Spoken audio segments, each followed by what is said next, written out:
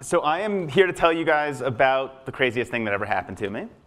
But before I do that, I want to show you something. This is a list of 100 random words. Apple, ear, banana, mango, flatulence, thought, pear, silence, plum, decapitate, so on. So if I said to you, you have 15 minutes to commit that list of 100 random words to memory, and you have to do it in perfect order, and you can't make any mistakes. How many of you think you could do that? One person. Uh, she already read my book. Uh, so I, I, also scoffed the first time somebody suggested to me that that was within the realm of human possibility. But it turns out it totally is. And 30 minutes from now, everybody in this room is going to understand, at least in theory, how to do it. So let me back up for a step. My background is I'm a science journalist. And a number of years ago, Slate magazine sent me to go cover this wacky sounding contest called the United States Memory Championship. And I figured this was going to be like the Super Bowl of savants. This was going to be a bunch of freaks of nature from like the long tail of humanity's bell curve. And I showed up, and it was a bunch of men and women performing the most miraculous feats of memory you could possibly imagine. They were memorizing hundreds of random numbers after looking at them just once. They were memorizing the names of dozens and dozens of strangers who they'd never met before. Uh, there was one event where they were memorizing an entire poem in just a few minutes, and an event where they were memorizing the order of a shuffled pack of playing cards in just a few minutes. And I said, okay, these are people who have absolutely nothing in common from me and there's nothing that I could possibly learn from them. And then I met this guy. This is Ed Cooke, who at the time had the, one of the best memories in all of Europe. And he had come to this US Memory Championship basically as like spring training for the World Memory Championships, which were going to be in Kuala Lumpur, Malaysia that year. And I was standing outside the competition hall to like escape the, the sweaty locker room that it was. And he was smoking a cigarette, and we started talking. And he says to me, you know, uh, all of these people in here have just average memories. They've all trained themselves to perform these miraculous feats of memory using a set of ancient techniques. Techniques that were invented 2,500 years ago in ancient Greece. Techniques that were once widely known and widely practiced. These were the same techniques that Cicero had used uh, to memorize his speeches on the floor of the Roman Senate, the same techniques that Roman generals had used to memorize the names of hundreds, thousands of soldiers under their command, the same techniques that medieval scholars had used to memorize entire books. And these techniques have basically been forgotten about, he told me. But anybody can learn them, even you. And I said, oh, that's interesting and my sort of journalist alarm bell was going off. And I ended up spending the better part of the next year living under this guy's wing, learning all of these ancient techniques and trying to see if I could, in fact, train my memory. But also, I spent that year trying to investigate my memory, trying to understand how it works and why it sometimes doesn't work, and what its potential might be. Now, a few years ago, a group of scientists at the University College of London brought a handful of these memory champions, people like Ed Cooke, into their lab. And they wanted to know, how do these guys do it? It was the same question that I had. And they gave them a bunch of tests. First they said, like, maybe these people are just smarter than the rest of us. They gave them a bunch of cognitive tests, and the answer was they're not. Then they thought maybe their brains are somehow structurally, anatomically different from the rest of ours. They weren't. They did find one really interesting and really telling difference between these memory champions and everybody else. And that is when they put these people into an fMRI chamber and looked at what parts of their brains were lighting up when they were learning new information, when they were being asked to remember numbers or people's faces or pictures of snowflakes, they found that the memory champions were activating different regions of the brain than their control subjects. And importantly, specifically, they were activating regions of the brain associated with visual and spatial memory.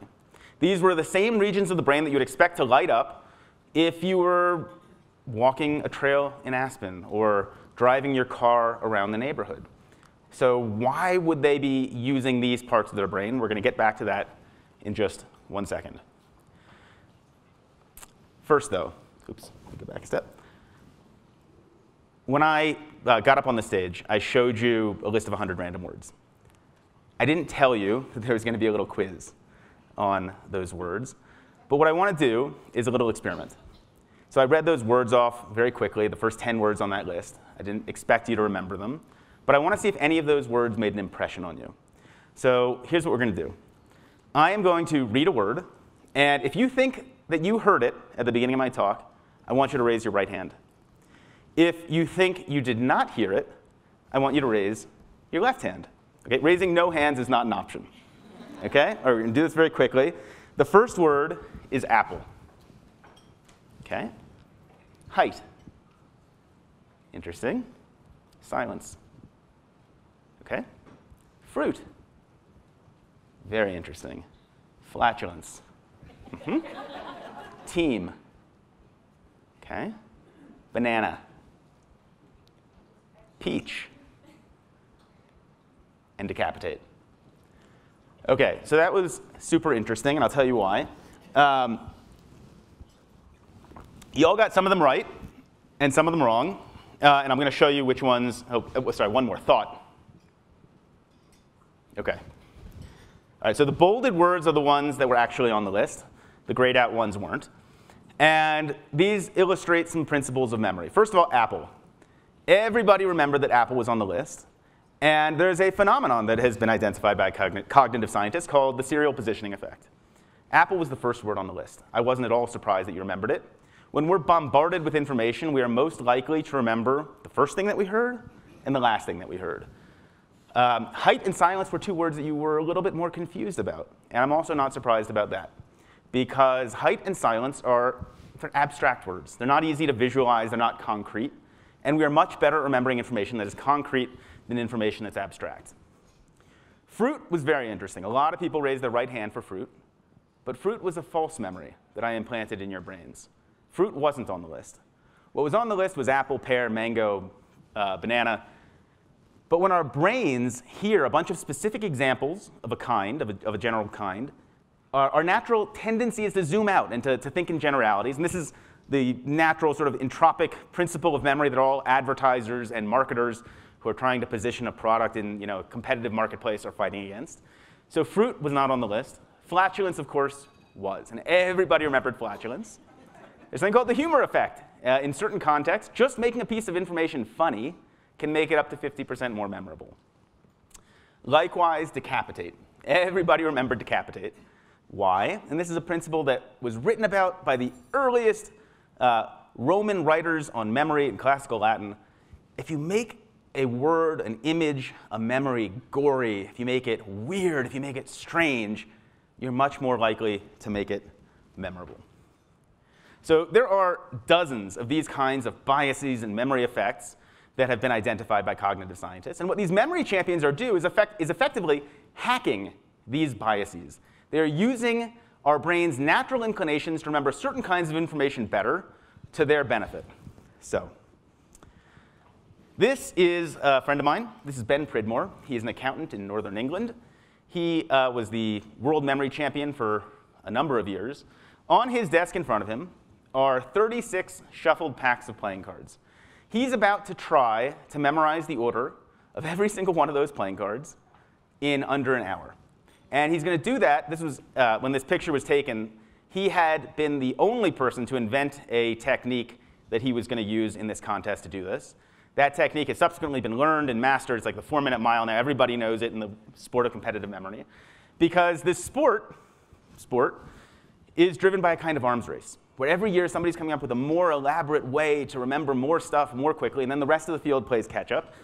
Ben used a similar technique to remember the precise order of 4,140 random binary digits, like 1, 0, 0, 1, 1, 1, 0, in half an hour. Ben wasn't born with a great memory. Ben learned how to do this. And all of the techniques that are used by these memory champions, and all of the techniques that can be used by all of us to remember better in everyday life, come down to a fundamental principle that is known to psychologists as elaborative encoding. And it's well demonstrated by a famous paradox from psychology called the Baker-Baker paradox. And the Baker-Baker paradox goes like this. If I tell two people to remember the same word. If I say to you, Phyllis, remember that there is a person named Baker, okay? And I say to you, Howie, remember that there is a guy who is a baker, like that's his job. And I come back to the two of you in a couple weeks' time, and I say, Do you remember that word that I had told you about back at the Aspen Ideas Festival? Do you remember what it was? The person who is told that this guy's name is Baker is less likely to remember the very same word as the person who is told that this guy's job is that he's a baker, right? Now, why is that? A guy named Baker, a guy who is a baker. Same word, different context, different amount of remembering. What's going on here? Well, when we hear that name Baker, capital B Baker, that is a piece of information that is totally untethered from all of the other information floating around in our skulls. It doesn't actually mean anything to us. But when we hear the common name, the common noun Baker, lowercase b Baker, that immediately gets embedded in a whole network of meaning. Right? We know what a baker is. We know what a baker looks like. We know that bakers get up early to go to work. They come home, they smell great. We know what a baker is. And that network of meaning provides a whole collection of associational hooks that make that information easier to pull back out at a later date. The entire art, the entire art of what is going on in these memory contests and the entire art of remembering better in everyday life is figuring out how to transform capital B bakers into lowercase b bakers. How do we take information that is otherwise meaningless, otherwise untethered, and make it meaningful in the light of all the other things that we already know about? So, I want to give you a very concrete example of how this works. One of the events in uh, a memory contest is called Names and Faces. Happens to be one of the events that we all also uh, compete in in everyday life. And before I teach you the tricks of how to do this, I want to introduce you to a few of my friends. Okay? So that is Mike, that's Abby, that's David, that's Donald, that's Anne, that's Bill, and that's Beth. Now, if all of these people were here with us in Aspen and they weren't wearing their name tags, how many of their names do you think you'd remember? Maybe three, maybe four, if they all introduced themselves around the table. I'm going to show you now how a memory champion commits those names to memory and how uh, we can all use these tricks in everyday life. So there are basically two principles to remembering people's names. The first is you got to be paying attention when they introduce themselves. I mean, seriously. So Samuel Johnson said the art of memory is the art of paying attention most of the time, when we don't remember somebody's name, it's because we're so busy thinking about like the first clever thing we're going to say back to them, the conversational gambit that will endear us to them. We're just not listening. So the first rule of remembering somebody's name is when you walk up to them, just be thinking like, what's your name, what's your name, what's your name, what's your name, what's your name, what's your name. You have to be listening. The second rule of remembering people's names is to come up with some way to associate, to make a connection between their name, the sound of their name, and something about their physical presence, something that can lead you back to their name from the way that they are uh, presenting themselves to you. So let me give you some examples here. When I meet Mike, I look at him and I say, what is unique, special, different about this guy? He's got this enviable beard. So I take a second and I just make a little mental snapshot where I transform his beard into a beard of Mike's. I just take a second to do this. In my mind's eye. Abby, I look at Abby, I say, what's special about Abby? She's got these beautiful big eyes. I'm going to picture a bee stinging them. And I just take a moment to do this, and I imagine it with as much color and emotion as I possibly can. I imagine how terrible that would feel to be stung in the eyeball. And I just take a second to do this. And what I'm doing is, first of all, by creating this image, I'm forcing myself to listen, to pay attention but I'm also creating something that like, when next time I see her, I'm gonna, what is your name? Right, I remember that B. I'm gonna give myself an advantage when it comes back to trying to remember her name. Here's another trick that goes back to antiquity.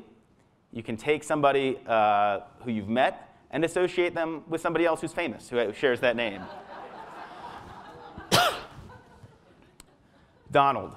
I look at Donald and I say, what's wrong with Donald? Donald doesn't have any eyebrows. So I'm going to give him a pair.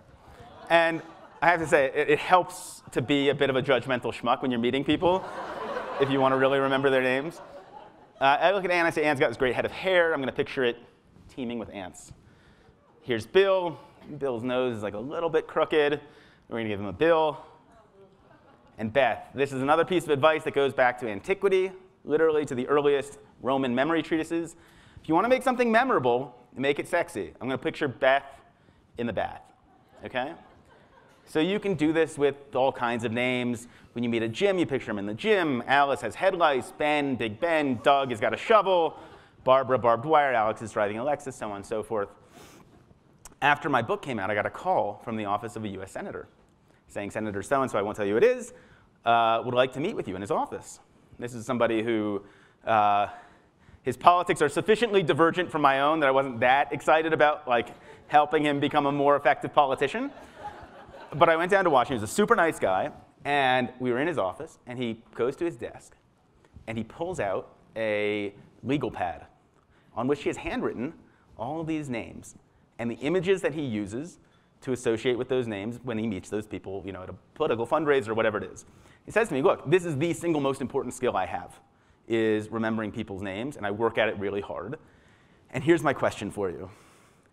What am I supposed to do with quote unquote ethnic names? That was what he asked me to come down to Washington and talk to him about. So I hopefully gave him some hints.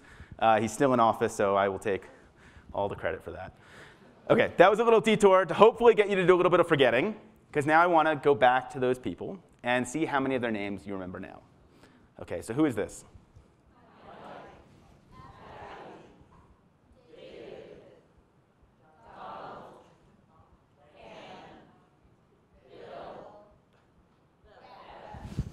Give yourselves a round of applause. You're, you're all ready to compete in the US Memory Championship.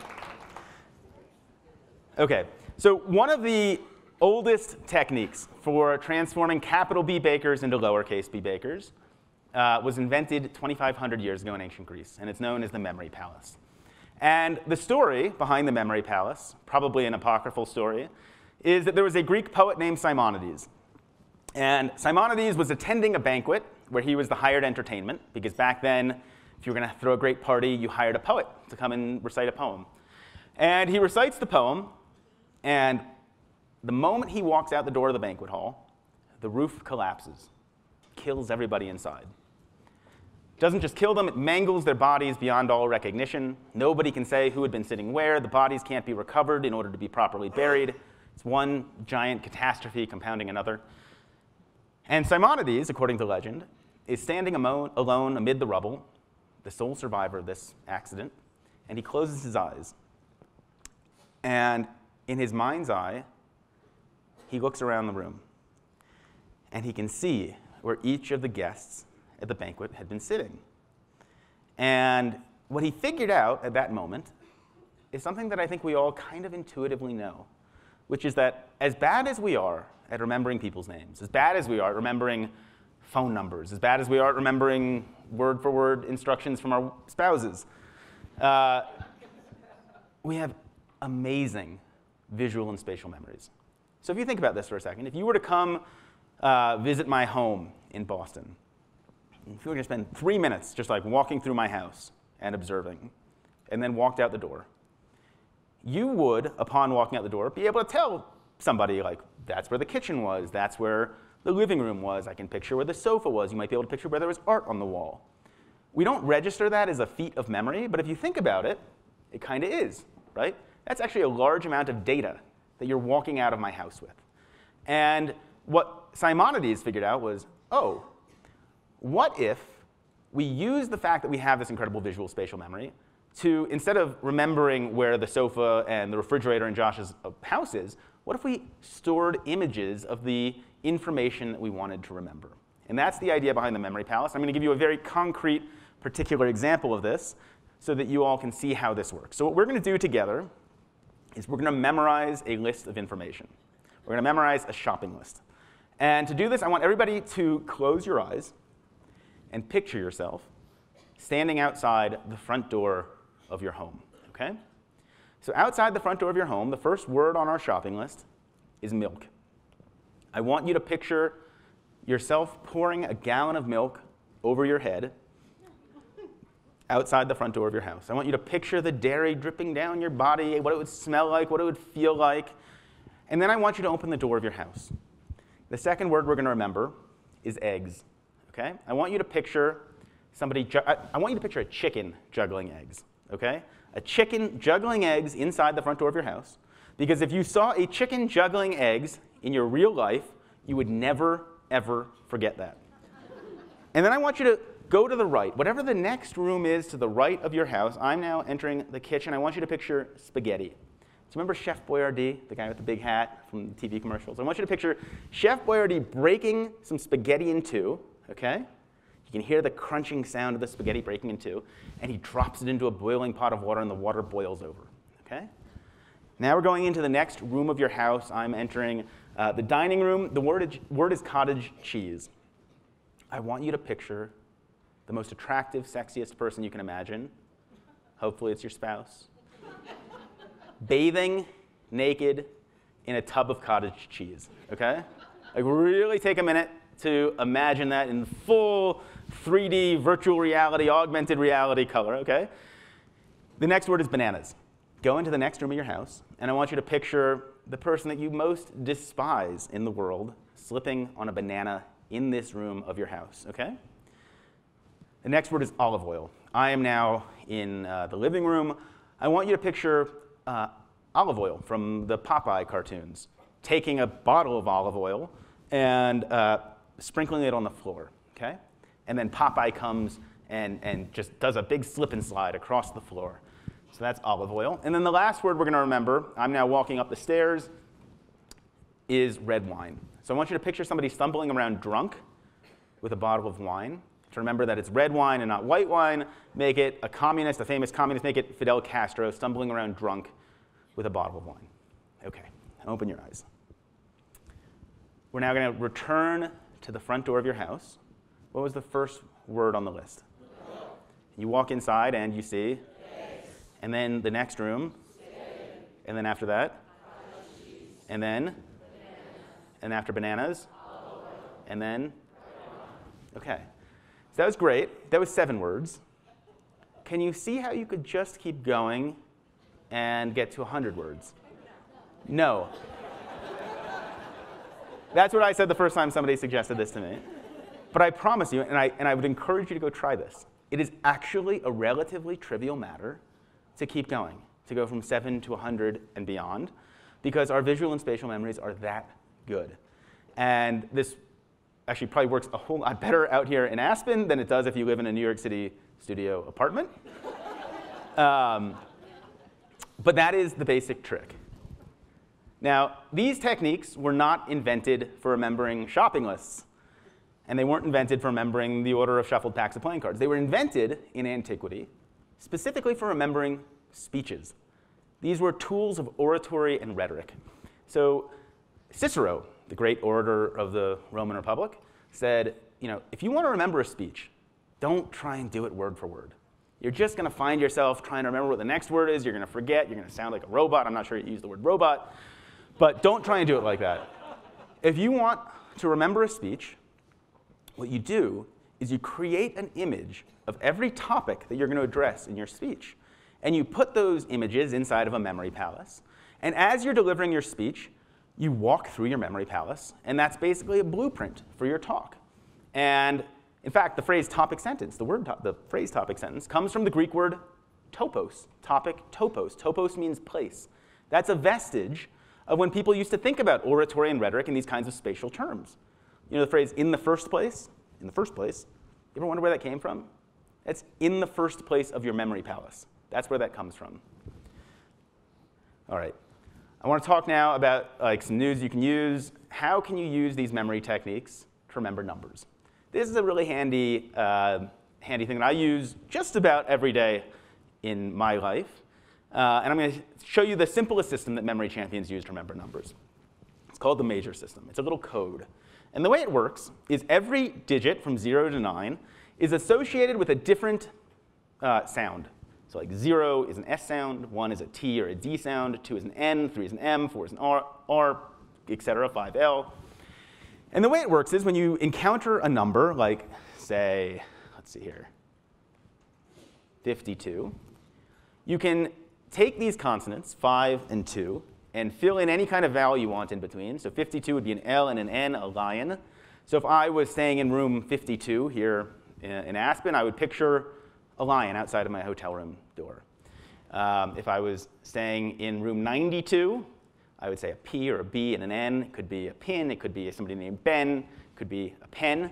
I might picture a pen writing on the door, and that would just be like my little trick to remember where I was staying. Um, 14, a T or a D, and an R. If I parked my car in spot 14, I might picture a giant monster truck tire rolling over my car. And if I had uh, to remember the number 529,214, I would just picture a lion drawing with a pen on a tire, which is an image that you have positively absolutely never seen before, which means it's an image that's not competing with any other image in your mind, right? That's totally new, it's novel, and therefore more memorable. Um, I use this for remembering credit card numbers, remembering phone numbers you don't really need anymore. Uh, I am staying here in room 204, the, the Nasser suite uh, of the Aspen Meadows. And this takes about 10 minutes to learn, okay? But then once you've learned this, you can use it for the rest of your life. And you can find this on the internet. You can find it in my book, Moonwalking with Einstein. I actually also had somebody print up some cards with these, uh, the major system on. If you want to take these, I'll leave them up here.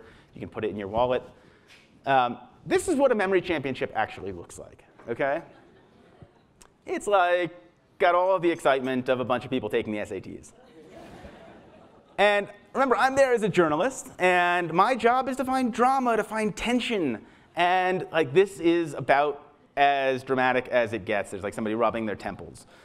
But I need to get some drama out of this, some excitement, and I figure I gotta like figure out a way to walk in these people's shoes. I got to get inside their brains. And so I start really trying to train my memory. So every morning when I wake up, before I sit down with my cup of coffee in the New York Times, I would try and remember something, to memorize something. I would take a poem and try and memorize a poem, or some phone numbers and try and memorize those phone numbers. I bought some old high school yearbooks and tried to memorize the names from those yearbooks. Uh, if you want to try this yourself, I have this piece of advice. Don't buy yearbooks from the 1950s because everybody looked exactly the same. and I got really into this. I actually got kind of obsessed with it. And I got kind of obsessed with it because it was surprisingly fun. And here's why it was fun because I wasn't actually training my memory. What I was training was my ability to come up with really funny, weird, strange images in my mind's eye very quickly, which was something I would never normally, under regular circumstances, exercise. And if you do that, if you can come up with a funny, strange, interesting image, like your memory takes care of itself. So, like I said, I got kind of obsessed with this. And this is a picture of me that ran on the cover of the New York Times Magazine wearing the traditional memorizer's uh, compet competing competitive kit. Okay, so I've got on a pair of earmuffs to block out any sound. I'm wearing some goggles that have been totally masked out except for two little pinholes because distraction is the competitive memorizer's uh, enemy. And I decided I was going to go back to that same contest that I had covered a year before. And this time I thought, you know, I've spent a year learning about memory. This will be a nice little epilogue to whatever I'm, you know, ultimately going to write about this, the story I'm going to tell. The problem was I ended up winning the contest, which really wasn't supposed to happen. And not only did I win the contest, I set a new US record at the time by memorizing the order of a shuffled pack of playing cards in a minute and 40 seconds, which Thank you. Thank you. Uh, but before you applaud, I should actually tell you the current record is 13 seconds, which is almost as fast as you can turn the cards over. So I ended up writing this book, Moonwalking with Einstein, about this experience and about the techniques that I learned along the way.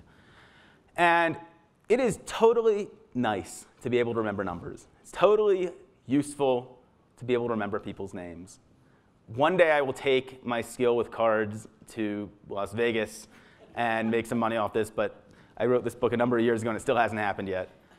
But here's what I want to leave you with. These are all just tricks. These are tricks that fundamentally work because they make you work, right? They work because they force you to pay attention.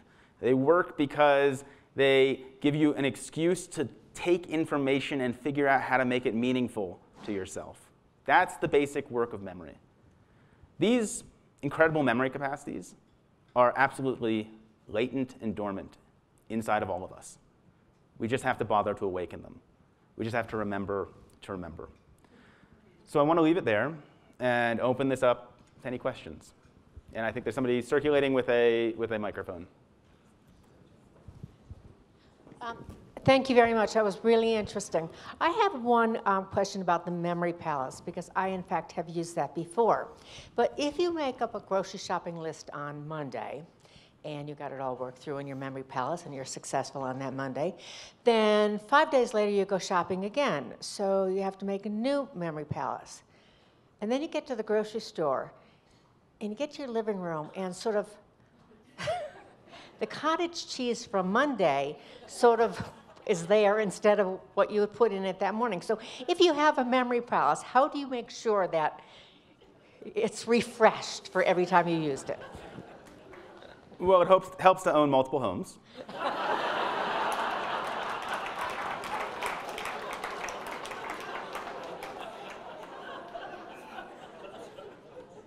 By the way, that joke doesn't land everywhere. uh, no, but in all seriousness, in all seriousness, the you know, you, you, you, make one memory palace in your house, you make one memory palace in your kid's house, you make one memory palace in your, your place of work, you make one memory palace in. Right? We, we actually experience a lot of architecture in our daily lives, and what memory champions do is they're like collectors of architecture in a really kind of interesting Borgesian way. They're like walking around looking at buildings as structures to hold future memories, which is fascinating. And actually, most of the work uh, of training for that memory contest was in doing exactly that, was in walking around and saying like, okay, my college dorm, right, what was that like? That's gonna become a memory palace, like my uncle's house, that's gonna become a memory palace. So that's part of the answer. The other part of the answer is your memories naturally fade along a gradient. It's known as the, the curve of forgetting.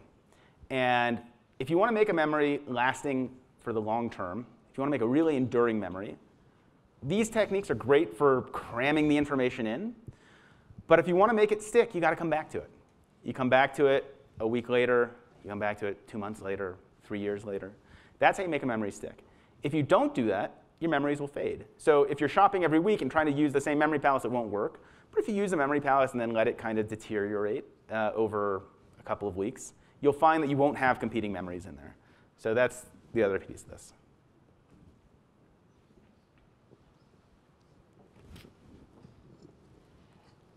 Thank you for sharing your process. Um, now that you can remember almost everything, how has that impacted your social life and your work? and also, um, are there things that you'd rather forget, and do you have a process for intentionally forgetting things? Okay, so let me be perfectly clear, and my wife is here to confirm this. I absolutely do not remember everything. Uh, in some cases, I don't remember anything, she'll tell you. Um, why is the toilet seat still up? et cetera, et cetera, et cetera. Um, but if you're asking about like how this has impacted my social life, the answer is negatively. And here's why. Because once you're the memory champ, people really expect you to remember their names. and if you don't, you're just a giant schmuck, right? Because all I'm saying to you is I actually didn't care quite enough to make that image to remember your name which may or may not actually be the case. Like I'm not, this only works if you're on, right? These techniques only work if you are uh, remembering to use them. And it takes work. Like this takes work, but that's why the techniques work.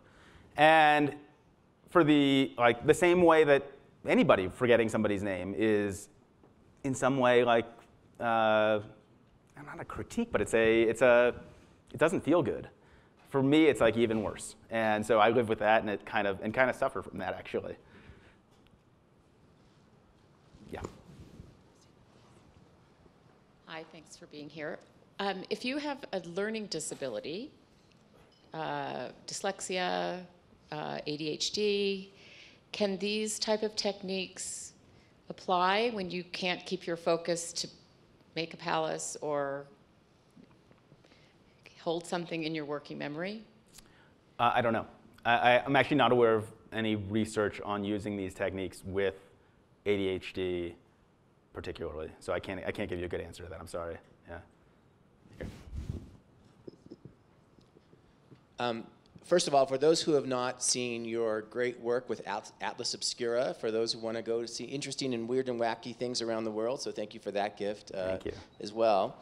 Um, when I was uh, 16 and didn't have many friends, I uh, memorized pi to 500 places, and I used it as a song. And I'm thinking, as you think about spatial memory, we can all remember music from 30 and 40 years ago. And so, are there any techniques also to convert this to kind of music type rhythm to help commit to memory? Right, great question, and thank you for mentioning Atlas Obscura. Uh, so, we all have this, uh, are familiar with this phenomenon that we can be in the shower singing a song that we haven't heard for you know 20 years and remember the lyrics word for word. Um, and that is a function of the ways in which I think music is a structuring device in the same way that a memory palace is, in a way, right? So music is adding to a set of words uh, rhythm, meter, rhyme, and all of those are techniques for essentially cueing you to like what comes next. And so it's not a coincidence that musical lyrics are more memorable even than unsung poems. Right? We know that the Odyssey and the Iliad and uh, the great epic poems of all pre oral cultures tended to be sung, tended to be performed. And that was because um, the meter, the rhyme, that provides an extra layer of meaning and structure that makes it easier to recall the information. Yeah, back there. Thank you. Um, I can see how remembering items like milk or eggs or cottage cheese, it helps, or even credit card numbers. But I'm thinking something a lot more precious to me is experiences. Do you have any techniques that, because once an experience is lost or fades away, it's a lot more precious loss than getting cottage cheese twice in a row. So. That's a beautiful question. Um, I had the incredible opportunity to interview and write one of the first pieces uh, about a woman named AJ. That was her initials in the medical literature at the time, who was the first person diagnosed with what was then called hyperthymestic syndrome. Uh, it's subsequently been rebranded as superior autobiographical memory, highly superior autobiographical memory. These are people, and now there have been a few dozen of them identified around the world, who can basically remember every day of their lives. And I sat with this woman in uh, a hotel in Beverly Hills, where she lived, and quizzed her. You know, August 11th, 1989, what happened on Murphy Brown that night? And by God, she knew. And I mean, I could not stump her. I could not stump her on the most esoteric trivia about her life. And it was remarkable because this was a woman who was not doing this using the memory palace. It was not using any technique I was familiar with. And yet, once I started digging in and talking to her more about her life, I started to realize there's something kind of weird going on. And it turns out that um, one of the things that seems to run in parallel with or correlates with this highly superior autobiographical memory is some measure of obsessive compulsive disorder. And so I started talking to her, and she was telling me about how she kept these very detailed journals of the weather. She would write in little tiny script about what happened to her every day. Every morning, when she was um, blow drying her hair, she would flip back through the calendar, almost like a Rolodex, of what was I doing on this day last year? What was I doing on this day two years ago? What was I doing on this day three years ago? And so what she was doing was constantly refreshing her memories of her life.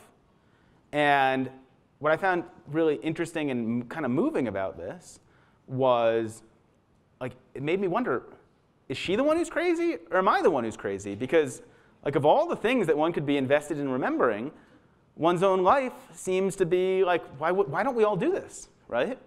And I don't think there's anything particularly magical about that uh, disorder, quote unquote disorder. I think it's actually something that's probably accessible, that skill, to all of us, if we were so moved to try and do that. The question I think that is really interesting and worth pondering is why don't we do that? Why don't we all do that? So Yeah, over here. Thank you for your brilliant presentation. I have two questions. One, is widow brain real and what can we do to have better memories? And two, what kind of advice would you give to Chuck Close, who never recognizes a face, not even if he crosses the street and sees his ex wife? Uh, I would tell him to, instead of trying to paint those faces using broad strokes, they use little pointillist patterns.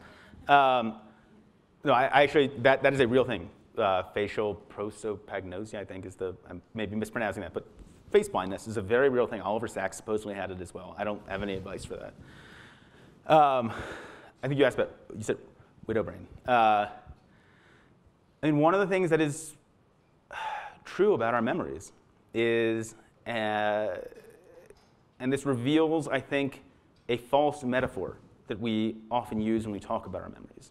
We talk about our memories as though they were like banks, right? We deposit information in, we withdraw information out. And it makes it seem like, and, I think, by the way, this is connected to um, like our sense that our brains are kind of parallel to computers, and so we use the metaphors of computers with our, with our memories. Uh, in previous centuries, people talked about their memories and using metaphors of you know, wax discs or uh, wax tablets or um, you know, uh, holograms. So whatever the technology is, that's how we think about our memories. We think about our memories like we put stuff in, we take stuff out.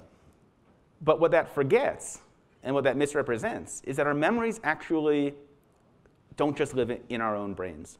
Our memories extend beyond ourselves into uh, other technologies. So there's like a really very real way in which my memory is partially up here and kind of like partially in my iPhone. There's also a very real way in which my memory is partially in my own mind and partially in my wife's mind. And there are things that I don't remember because I know that like she's got that. And so I can kind of like let that go. And so one of the phenomena is when somebody loses a spouse is that they discover how much of their memory was external to themselves and, and, and lived inside of somebody else. This is also true of um, people with Alzheimer's.